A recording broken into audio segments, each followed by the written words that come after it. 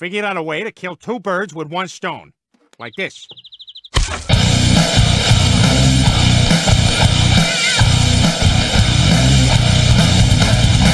You say 13% of people on the internet are cool.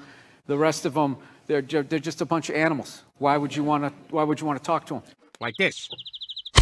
The 87% are writing horrific stuff under YouTube videos. They're they're they're assholes. Yeah. Like this.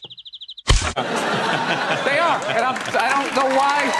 See, these are these are the 13% that are uh, that are cool.